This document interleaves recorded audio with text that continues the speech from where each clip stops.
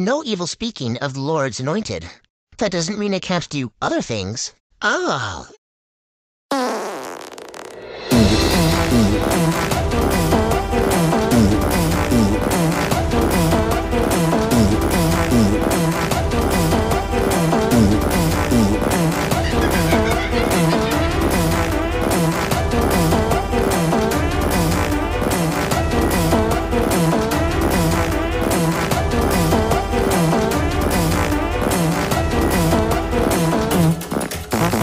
Mm-hmm.